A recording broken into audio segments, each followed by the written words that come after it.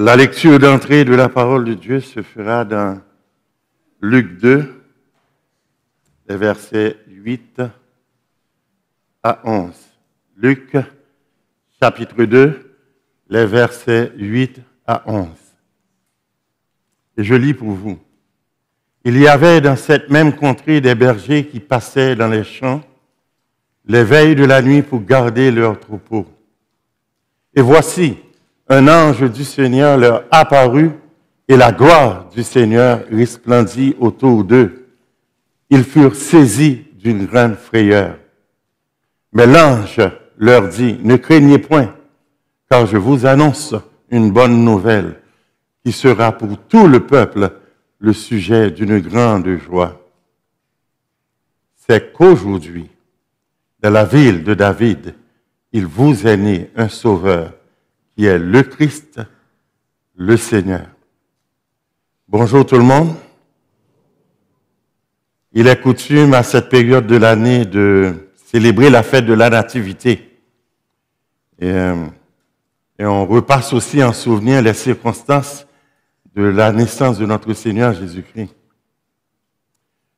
Ce matin, je vais vous demander de vous prêter à un exercice. Ce ne sera pas douloureux périlleux. On va se mettre à la peau des premiers auditeurs de la parole de Dieu et de voir comment Dieu a introduit dans leur cœur et dans leur pensée la pensée de son Fils. Comment Dieu a fait un cheminement dans le cœur humain pour que le Fils puisse s'installer comment Dieu a tenu un peuple dans une promesse qui a été faite à un patriarche, comment Dieu a été fidèle pendant des millénaires? Il a donné une parole et cette parole s'est tenue dans le temps. Normalement, je vais citer quelques versets. On va soulever les questions que ces versets pouvaient être pour les premiers auditeurs. Je ne cherche pas des réponses aujourd'hui. Nous connaissons les réponses. Le Nouveau Testament nous les a révélées. Le Nouveau Testament nous aide à mieux comprendre l'Ancien Testament et l'Ancien Testament nous aide aussi à mieux comprendre le Nouveau Testament. En d'autres termes, l'Ancien et le Nouveau Testament convergent vers Jésus-Christ. Euh, et pour cela, c'est dans un seul but ce message, d'honorer la fidélité de Dieu. Dieu qui fait toutes choses merveilleuses en son temps. Prions. Seigneur, euh, merci pour la personne que tu es. Au-delà de ce que je puisse dire ce matin, Seigneur, que la voix de ton esprit puisse se faire entendre dans les cœurs ici présents car ta parole est vie, ta parole est source de vie, elle est vivifiante, elle nous console, elle nous guérit, elle nous instruit. Et elle nous corrige aussi. Que cette parole-là, Seigneur, soit l'objet de toutes nos pensées aujourd'hui. Et qu'on soit reconnaissant pour ton œuvre. Sois béni éternellement, Père dans le précieux nom de Jésus. Amen. Le premier texte qu'on va revoir ensemble, c'est des textes très connus. Genèse 2, plutôt Genèse 1, euh, les versets 26 et 27. Genèse 1, les versets 26 et 27. Et je peux euh, vous faire le début de la lecture. Et Dieu dit, faisons l'homme à notre image selon notre ressemblance. J'arrête ici momentanément. Dieu parle à quelqu'un. Pour la première fois, on nous rapporte que Dieu parle à quelqu'un. Pour les premiers auditeurs, ils aimeraient savoir à qui Dieu parle. On ne dit pas son nom. Et euh, la première observation du texte, c'est que Dieu semble parler à quelqu'un qui est doté d'une puissance créatrice. Faisons. Et la deuxième observation du texte, cette personne, de toute évidence, a la même nature que Dieu, à notre image. Le narrateur nous rapporte les paroles de Dieu et Dieu parle de lui au pluriel. Et tout de suite après le verset qui suit, on peut le lire ensemble, le verset 27, Dieu va parler de lui, ou le narrateur parle de Dieu au singulier. Dieu créa l'homme à son image, il le créa à l'image de Dieu, il créa l'homme et la femme. Dieu est la seule personne de toute l'histoire de l'existence qui est capable de parler de lui tant au pluriel qu'au singulier. Si je me mets à la place des premiers auditeurs, j'aimerais savoir à qui il parle. Parce que la personne à laquelle que Dieu parle, eh bien Dieu, cette personne-là, eh bien, l'homme et la femme dans le jardin ont été créés à l'image de cette personne aussi. Donc, il est vital pour nous de savoir à qui Dieu parle. Et on continue à Genèse 3.15, tous des versets très connus. Genèse 3.15, nous connaissons les circonstances. Il y a eu la chute de l'homme. C'est comme ça les théologiens nous le présentent. De toute façon, avec le péché, euh, ça amène euh, vers le bas. le péché n'élève personne. Le péché euh, nous rabaisse à la poussière de la terre. Et l'homme et la femme ont péché. Ils ont désobéi à l'alliance. Une alliance qui avait une grosse conséquence en cas de désobéissance. Et après la chute, l'homme et la femme vont, tenter de faire quelque chose d'impossible. Je le redis, ils vont tenter de faire quelque chose d'impossible. Et la chose qu'ils vont tenter de faire, c'est de se cacher loin de la présence de Dieu. C'est impossible. Toute créature est à nu devant lui. Où fuirais-je loin de ton esprit?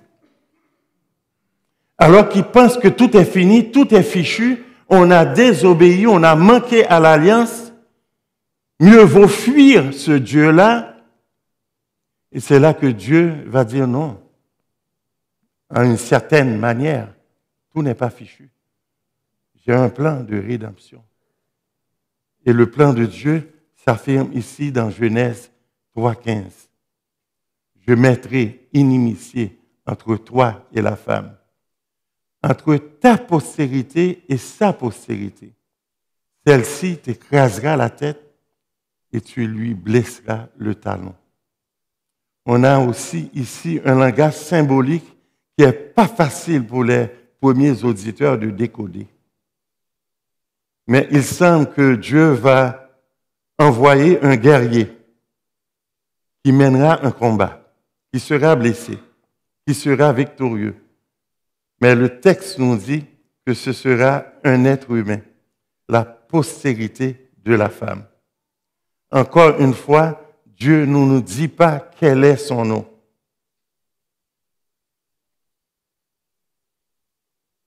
On poursuit encore les textes. Si on s'en va dans Genèse 22, cet exercice est pour nous montrer comment Dieu va introduire son Fils dans le cœur des hommes. Il crée un suspense par rapport à son Fils, afin de attirer toutes les attentions de toute l'humanité vers celui qui doit venir. Nous connaissons cette histoire, c'est un classique des Saintes Écritures. Dieu va mettre Abraham à l'épreuve il va lui demander son unique, on lit, parlant à Abraham, son père. Mon père, il répondit. Je ne suis pas encore rendu là. J'ai sauté quelques... Mais c'est moi qui ai donné cette référence. On la garde pour l'instant. Dieu va demander à Abraham de lui donner son unique.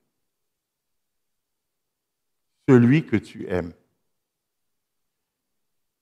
J'aime cette expression. Ton unique, ça c'est pour rappeler à Abraham, c'est l'enfant de la promesse que je te demande. Celui que tu aimes, c'est pour rappeler à Abraham toute l'importance que cet enfant-là a pour Abraham. Dieu avait promis une nation. C'est l'enfant de la postérité. Dieu va lui demander de faire quelque chose qui va à l'encontre des sentiments naturels.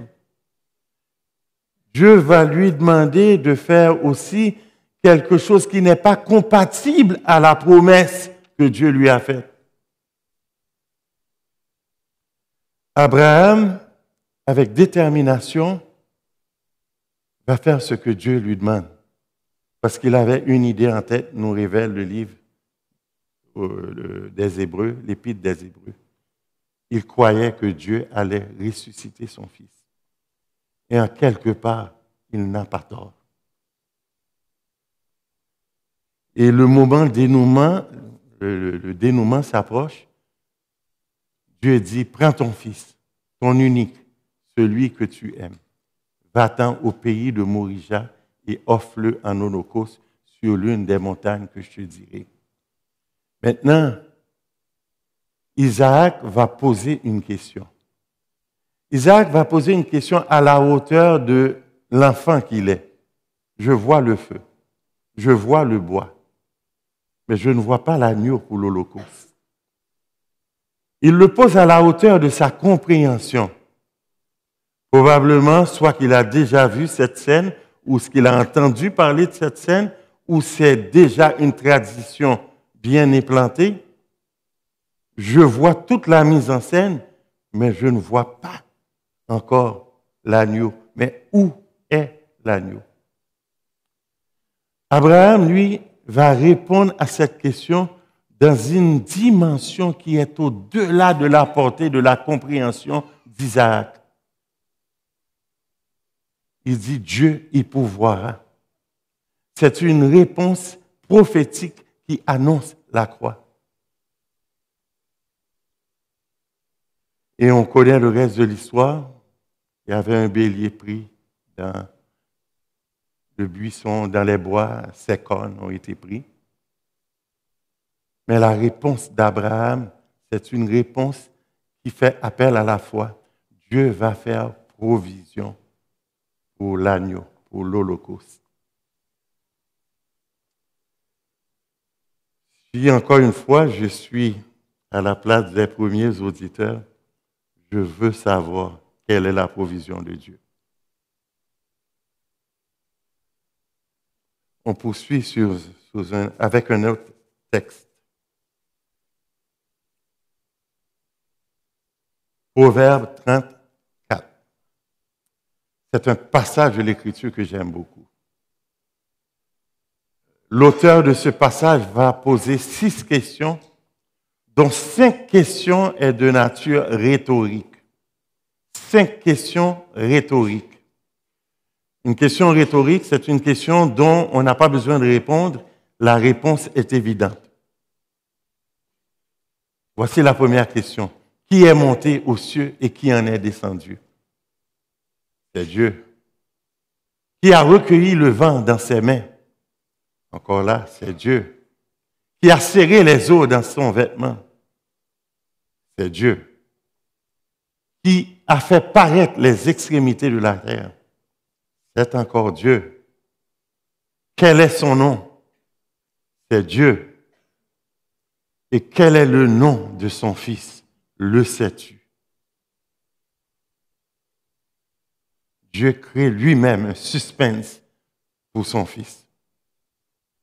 L'humanité ne sait pas encore quel est le nom de son Fils.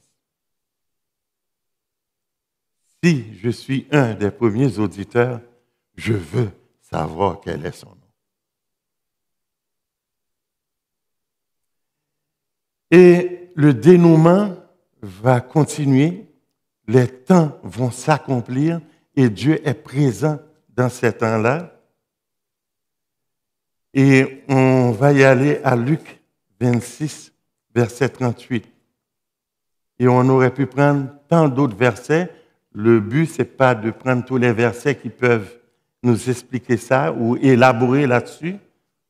Ça prendrait plus qu'un message et ça prendrait aussi plus qu'un prédicateur. Mais c'est de voir comment vraiment Dieu opère toutes choses merveilleuses. Et il y a une fille nommée Marie qui va recevoir une grâce exclusive, une grâce unique. Un ange va visiter Marie. Et l'ange va lui dire que tu seras enceinte par la vertu du Saint-Esprit. L'ange lui parle de l'enfant qui viendra. Il lui dit qu'il sera grand. L'ange lui parle de l'enfant par rapport à l'alliance davidique. Et dans cette alliance davidique, il y avait quatre promesses de Dieu. La première promesse, c'était une maison éternelle, un trône éternel, un royaume éternel et une descendance éternelle.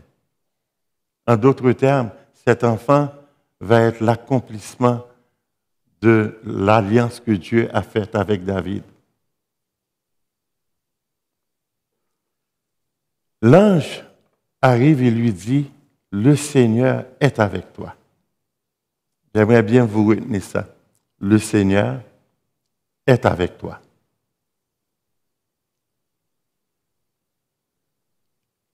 Et là, dans cette conversation, Marie se demande, mais comment L'ange lui dit, le Saint-Esprit viendra sur toi un enfant naîtra de toi. Remarquez bien, pendant tout ce temps-là, l'ange parle au futur, comme la prophétie d'Isaïe. Et la Vierge sera enceinte. Au sixième mois, l'ange Gabriel fut envoyé par Dieu dans une ville de Galilée appelée Nazareth auprès d'une vierge fiancée à un homme de la maison de David, nommé Joseph. Le nom de la vierge était Marie. L'ange entra chez elle et dit, Je te salue, toi à qui une grâce a été faite. Le Seigneur est avec toi. Comme je viens de vous dire, elle dit, Le Seigneur est avec toi. N'oubliez pas cela. Troublée par cette parole, Marie se demandait ce que pouvait signifier une telle salutation.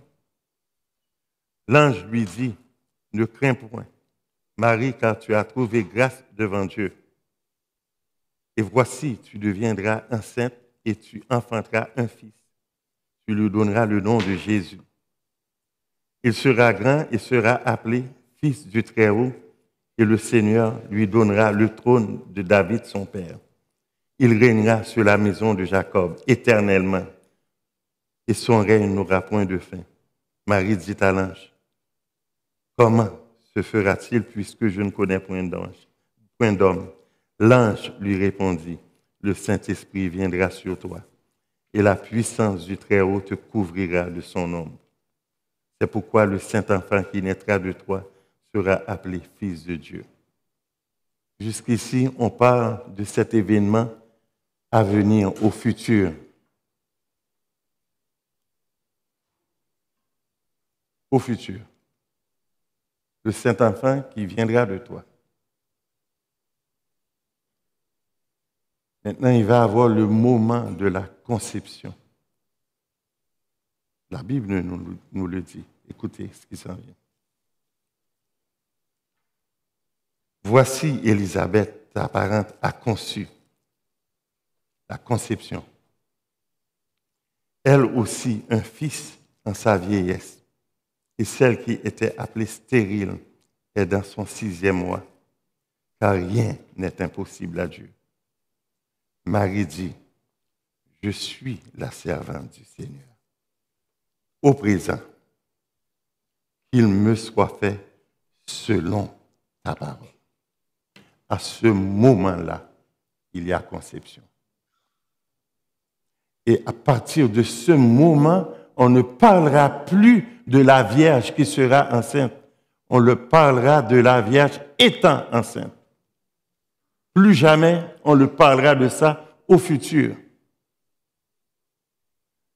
Marie a donné son consentement. Dieu voulait avoir la soumission de Marie aussi, qui impliquait une obéissance de foi. Et c'est pour ça, tout de suite après, on écrit, et l'ange la quitta. J'ai accompli mon message.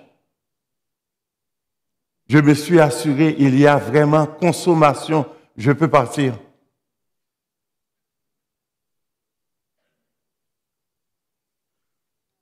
Hmm. Dieu fait toutes choses merveilleuses en son temps. Vraiment, euh, il est extraordinaire. Il est extraordinaire.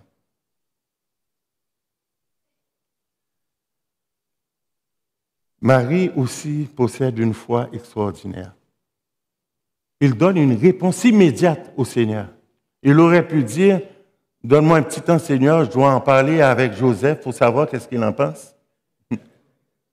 Puis ce serait une réponse euh, logique, n'est-ce pas? Elle ne se soucie pas si elle va être lapidée, parce que la loi prévoyait une femme qui n'est pas mariée, qui est enceinte, c'est la lapidation. Elle ne se soucie pas de qu'est-ce que va penser la communauté. Elle fait confiance à Dieu pour ça. Marie, c'est une femme de foi extraordinaire.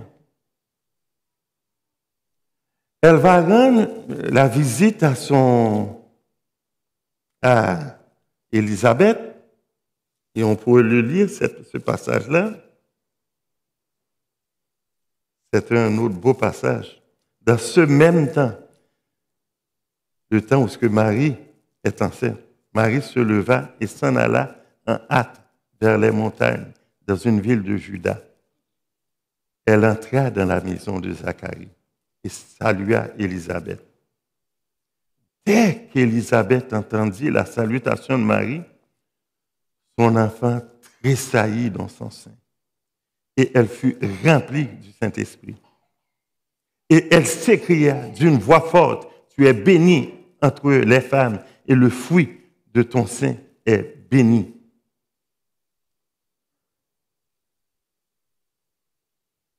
Ça, c'est un passage extraordinaire dans, toutes les dimensions. Premièrement, de manière surnaturelle, Jean-Baptiste est dans le sein de sa mère. Jésus est dans le sein de sa mère. Les deux ne se connaissent pas encore. Et il y a déjà une connexion entre les deux. Il sent surnaturellement la présence du Seigneur Imaginez-vous, le Seigneur est dans le sein de sa mère, Dieu est en train de le former, le tisser dans le sein de Marie. Il est déjà le sujet d'une bénédiction pour les autres, parce que Élisabeth va s'écrier, s'écrier, une joie. La seule façon d'exprimer cette joie, c'est par un cri. Elle va s'écrier. Il y a de la joie ici. Un enfant dans le sein de sa mère qui produit déjà de la joie. Mesdames, il y a des dames ici qui sont enceintes, ou ceux qui s'apprêtent à le devenir parce que ce serait un souhait de Dieu. Lorsque vous porterez votre bébé dans votre sein, parlez-lui de Jésus chantez le nom de Jésus. Il sera très content. Parce que le nom de Jésus peut pénétrer dans les entrailles des femmes pour aller bénir les bébés qui se trouvent là. Jean-Baptiste a checké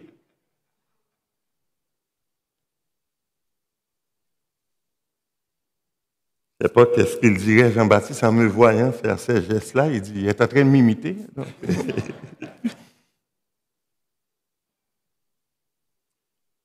Et une autre dimension, si j'extrapole un petit peu,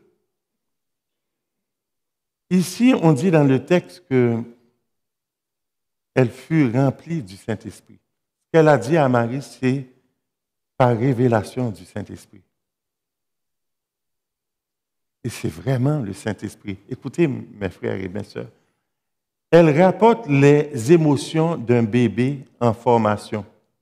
À cette époque, aucune science ne pouvait nous permettre de savoir qu'un bébé dans le sein de sa mère pouvait avoir des émotions.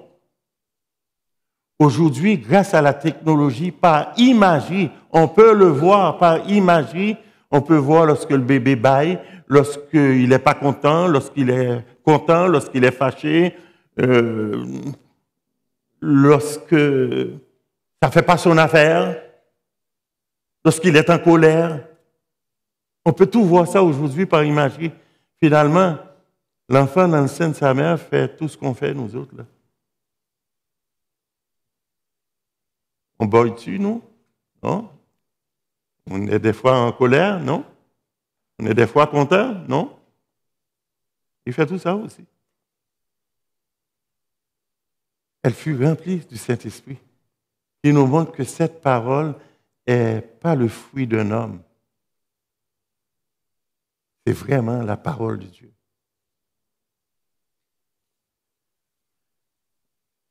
Je poursuis. L'événement va arriver à son dénouement.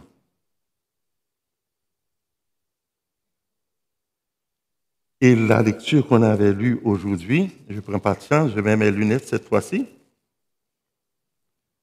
C'est Luc 2, 8, 11.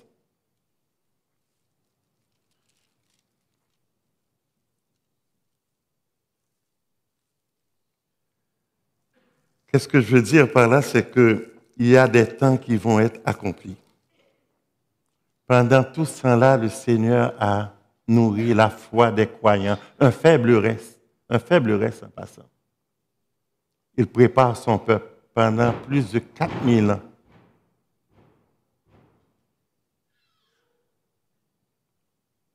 Peut-être qu'un enfant s'est coincé, il ne peut pas sortir, on va le délivrer. Bref, il y a des personnes qui s'en occupent, on revient ici, ne vous en faites pas. Sur l'eau, mon Jacques. On arrive au dénouement.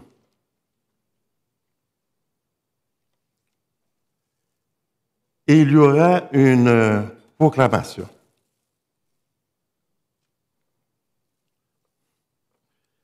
Et c'est un ange qui va faire cette proclamation. C'est un ange qui avait brisé le silence de Dieu parce que Dieu, pendant tout près de 400 ans, n'avait, ne s'était pas révélé après Malachie par les prophètes. Et encore une fois, le silence va être brisé ici. Les temps s'accomplissent. Ça arrive à son terme. C'est qu'aujourd'hui, tout le temps que Dieu a fait pour préparer son peuple, depuis cette première annonce où ce qu'il dit, la postérité de la femme viendra. Et voilà, on y est rendu. C'est qu'aujourd'hui. Dans ce court passage, les trois offices de notre Seigneur Jésus-Christ sont présentés. Je vais découper ce verset-là euh, en citant un prédicateur que j'ai vu découper de cette manière et ça m'avait fait du bien. Euh, c'est un prédicateur qui s'appelle Dr. Eden McGuffey. Il a découpé ce verset comme suit. Écoutez la proclamation de l'ange. Je le dis en mes mots, bien entendu. C'est qu'aujourd'hui, dans la ville de David, il vous est né un sauveur, le Christ, le Seigneur c'est aujourd'hui, proclamation actuelle. Dans la ville, proclamation territoriale. La ville de David, proclamation royale. Il vous est né, proclamation de l'incarnation. Un sauveur, proclamation du salut et de la rédemption, qui est le Christ, proclamation du Messie et du, et de, et du de l'éternel. Le Seigneur, proclamation de son autorité, de son leadership, de sa gouvernance.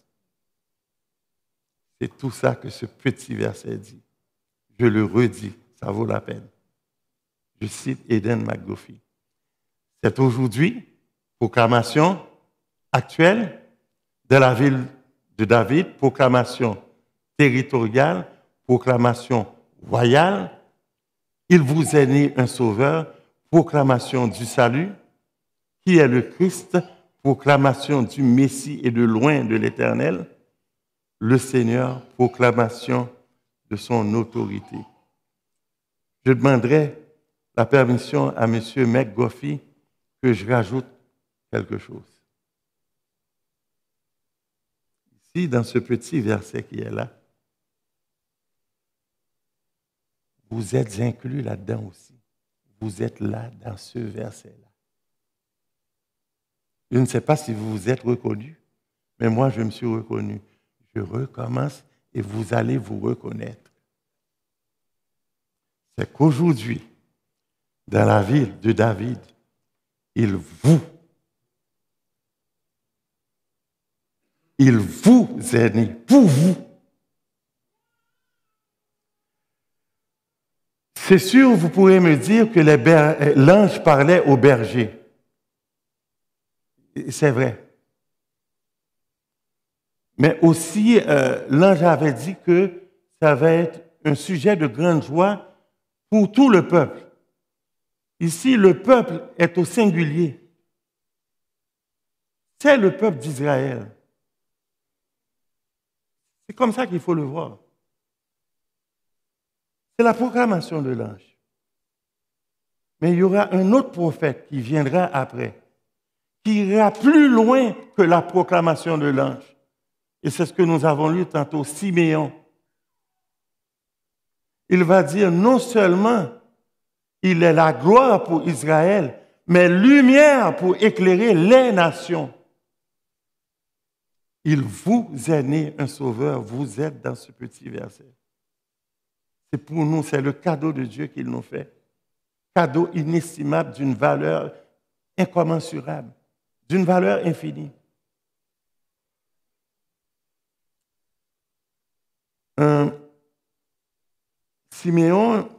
N'a pas dit que cela, il a aussi continué sa prophétie. Si on peut voir ensemble dans Luc 2, les versets 34 et 35. Et je lis pour vous Luc 2, 34, 35. Siméon les bénit et dit à Marie, sa mère, cet enfant est destiné à l'âge a amené la chute et le relèvement de plusieurs en Israël et à devenir un signe qui provoquera la contradiction. Et à toi-même, une épée te transpercera l'âme afin que tous les pensées de beaucoup de cœurs soient dévoilées. Un enfant qui va être un élément de discorde un enfant qui va créer une division. Le reste d'Israël, les croyants d'Israël, qui seront divisés avec ceux qui, qui vont diffamer le nom du Seigneur. Je ne suis pas venu apporter la paix, mais l'épée, dit le Seigneur. Et jusqu'à présent, le Seigneur est toujours une source de contradiction pour Israël des nombreux juifs de manière individuelle reçoivent le Seigneur présentement en Israël. Mais il y en a aussi qui continuent à diffamer le nom du Seigneur. C'est une prophétie qui se maintient dans le temps. leur diffamation est même une preuve que l'Écriture dit vrai.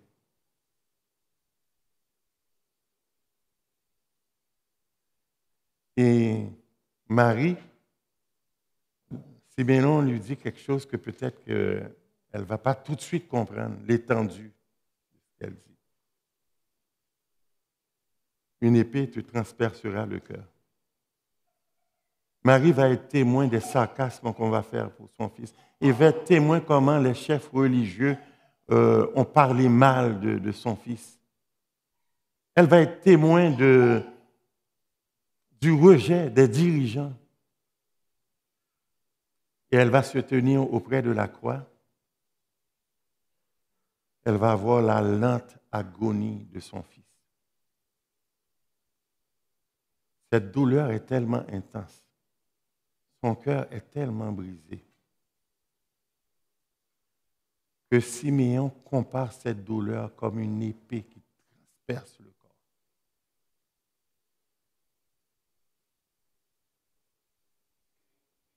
Siméon avait déjà vu l'ombre de la croix. C'est pour ça, lorsqu'il dit gloire pour Israël, ce n'était pas dans un proche avenir, c'est lorsque le Seigneur viendra délivrer Israël de toutes ses détresses, de toutes ses tribulations, de toutes ses souffrances. Lorsqu'il y aura maintenant une restauration à l'échelle nationale, nous dit l'Épître aux Romains. C'est là que la gloire de Dieu la gloire de Christ va se manifester pour Israël. Les questions qui ont été soulevées, l'Ancien Testament donne une réponse. À qui Dieu pouvait-il parler? Eh bien, Jean le dit. Lorsque tout a commencé, au commencement était la parole. Et la parole était avec Dieu.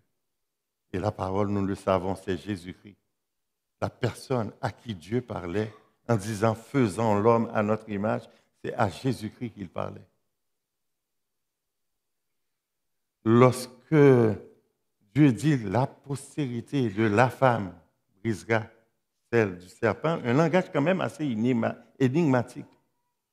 C'est une proclamation de Dieu de la victoire de celui qu'il va envoyer et Galates 4, verset 4 nous donne l'explication. Lorsque les temps sont accomplis, Dieu a envoyé d'abord son Fils, né d'une femme. Et comme Pasteur Jeff nous a déjà enseigné, eh bien, c'est pour faire la corrélation avec Genèse 3.15. C'est cette postérité de la femme, née d'une femme. C'est cette femme-là La question a été posée à Abraham par Isaac. Mais où est l'agneau? Comme nous le savons, Jean-Baptiste va répondre à cette question. Voici l'agneau de Dieu qui enlève le péché du monde. Ce n'est pas pour rien qu'il dit, voici, le voici, l'agneau tant désiré, tant recherché. Le passage d'Abraham, c'est un passage qui nous fout tout à terre lorsqu'on le lit. Tu as déjà été à terre en lisant ce passage, n'est-ce pas, Pasteur Gabriel, Pasteur Sylvain, Pasteur Jeff, lorsque tu lis l'histoire d'Abraham, tu es à terre, hein, tu es jeté à terre quasiment.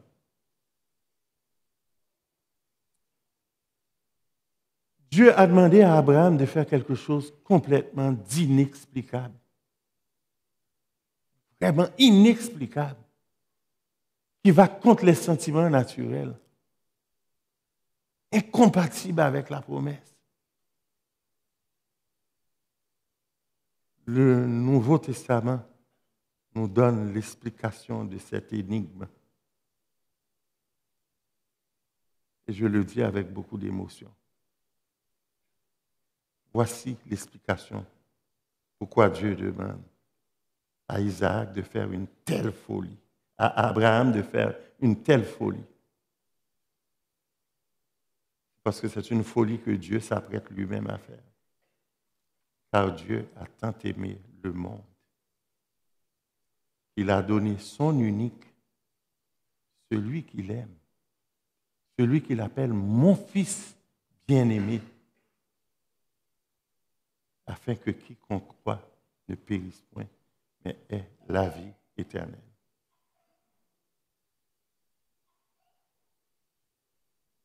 C'était ses propres douleurs que Dieu voulait exprimer. Il voulait exprimer l'étendue de sa douleur. Celui que j'aime d'un amour infini va être l'Holocauste. Et la réponse d'Abraham à son fils, et l'attente même d'Abraham était prophétique, parce qu'il croyait que Dieu allait ressusciter Isaac, son fils. Dieu l'a fait parce qu'il sait aussi qu'il va ressusciter son fils. C'est un amour sans comparaison, un amour d'un autre calibre, un amour d'une autre dimension.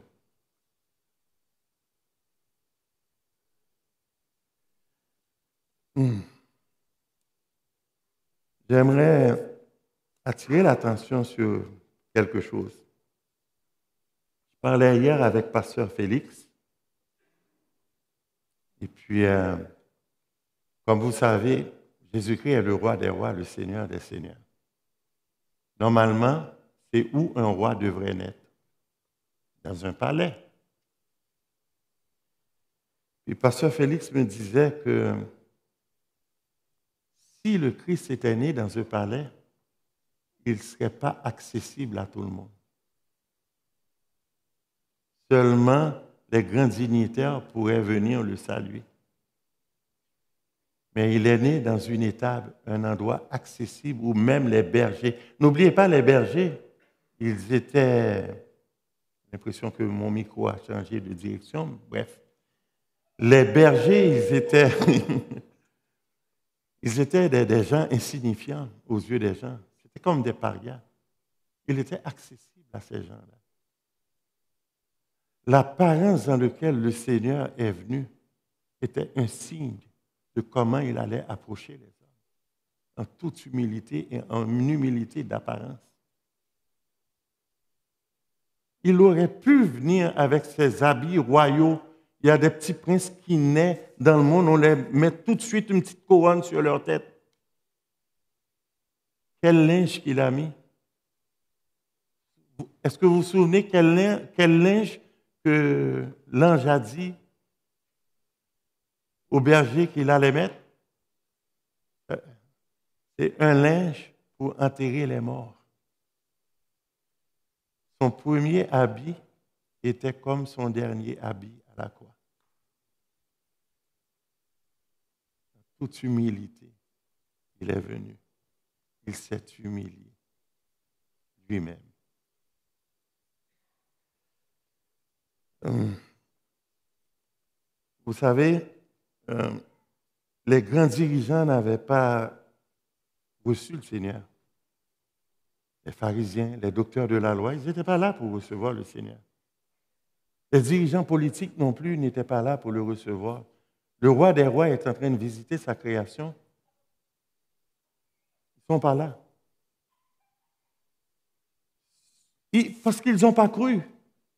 Ils n'ont pas cru à ce message.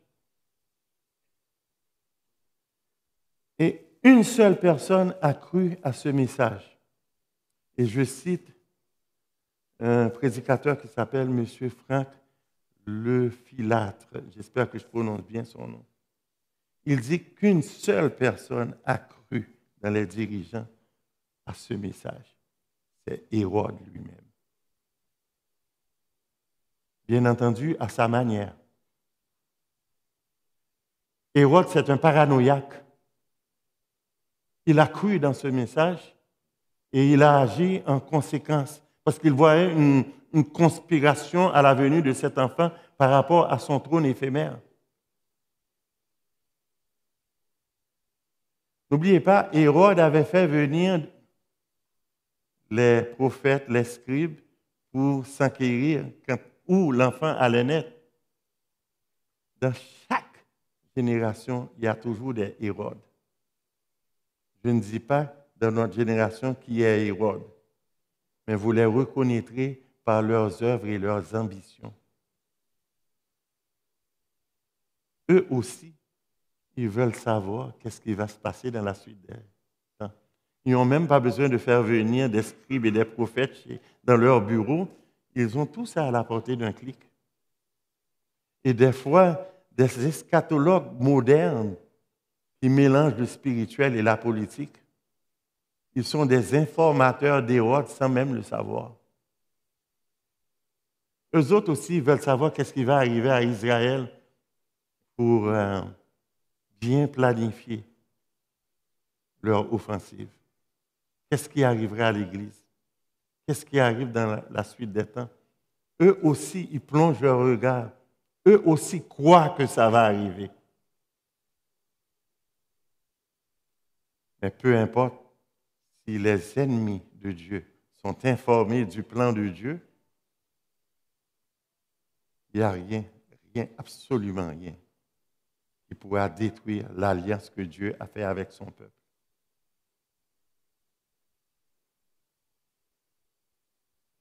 L'apôtre Paul lui a dit, je, je n'ai point honte de l'évangile, c'est une puissance pour le salut de quiconque croit.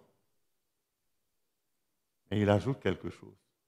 Premièrement, le juif. Et ensuite, le grec. Il y a une priorité dans l'œuvre du salut que le Seigneur fait.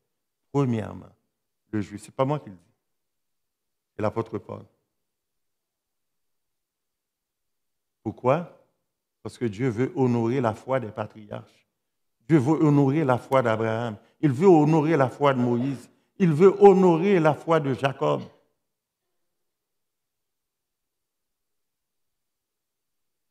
Ici, le juif peut symboliser Israël. Et le grec peut symboliser les nations, que ce soit des nations arabes, européennes, occidentales, Haïti. Mais il le dit au singulier parce qu'il y a aussi cette portée individuelle dans le salut d'abord le juif. Cette priorité est reconnue par le Seigneur lui-même. Il dit à la femme samaritaine, le salut vient des Juifs. Il ne faut jamais l'oublier. C'est eux qui ont reçu le dépôt de la vérité. Et l'humanité tout entière a une dette envers cette nation, au moins une dette. Je n'aborde pas l'aspect politique des choses, ça ne m'intéresse pas, mais l'aspect spirituel. Voici la dette que l'humanité leur doit. Ils ont conservé de manière intacte pour nous la parole de vie au prix de leur vie. C'est eux. Ça a été sous forme de parchemin, de papyrus, codex aujourd'hui, sous la forme numérique, nous ouvrons les pages de la Bible avec facilité, nous trouverons les concordances avec une telle facilité, tout en oubliant qu'il y a des personnes qui ont donné leur vie afin que cette parole-là nous soit gardée intacte telle qu'elle a été donnée par le Seigneur. Ils ont fait un travail extraordinaire. Il est découvert des manuscrits de la mer morte, c'est ça? Le prouve. Parce que lorsqu'on a comparé les rouleaux d'Isaïe trouvés à quelques minimes points de virgule ou d'une préposition à la place d'un autre, deux, trois petites affaires, le texte était, deux, trois petites affaires qui, qui ne changent rien dans l'esprit du texte. Le texte était resté intact. C'est un cadeau euh, inestimable. La parole de vie. Et rien que pour ça, nous devons prier pour ce peuple.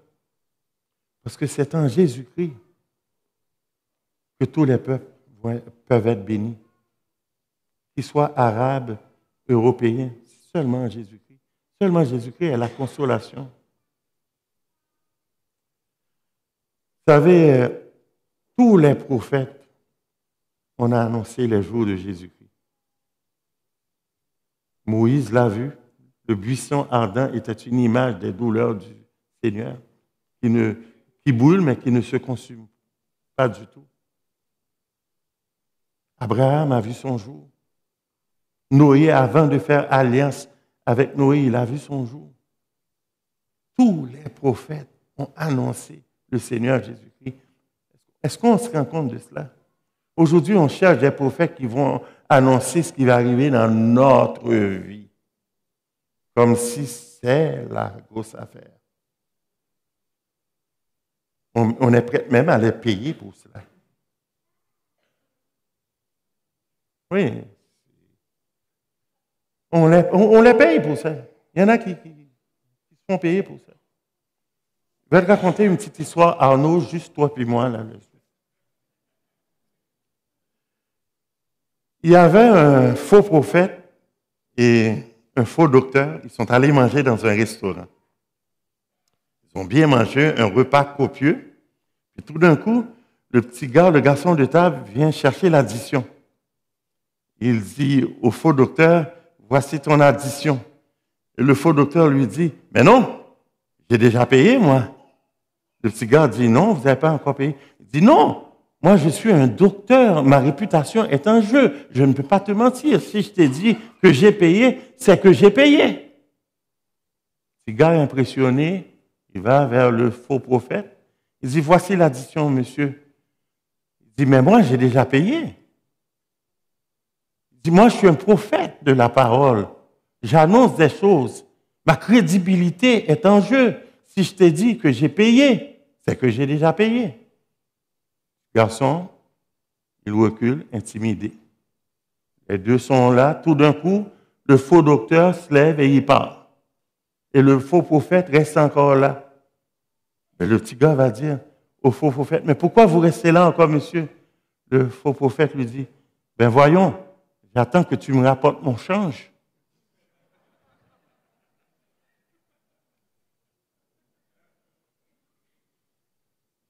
Il y en a qui sont cupides au bout, là.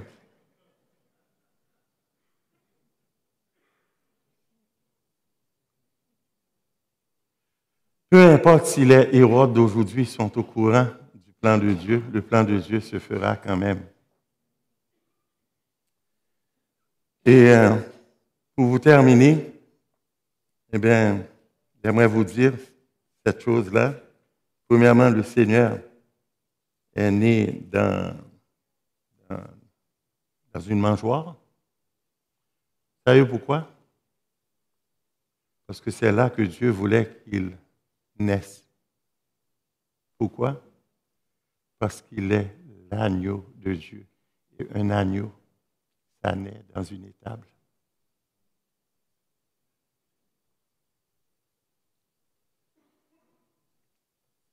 Prions le Seigneur. Seigneur, merci pour ce cadeau inimaginable. Merci pour Marie qui a été l'enveloppe et le berceau de ce cadeau. Une femme de foi exceptionnelle. Merci parce que au cœur de l'annonce, c'est aujourd'hui, de la ville de David, eh bien, nous sommes là dans ce verset-là, qui nous montre tout ton amour pour nous. Et comme un pasteur Martel nous enseigne chez les retraités, tu es venu dans ce monde par un miracle et tu as quitté ce monde par un autre miracle. Tu es venu par le miracle de l'incarnation et tu as quitté ce monde par le miracle de la résurrection. Et tu reviendras par un autre miracle notre résurrection à nous. Nous le croyons, Seigneur, que tu rendras la vie à nos corps mortels. Dans le précieux nom de Jésus, sois béni éternellement et répands ta grâce sur le Québec. Amen.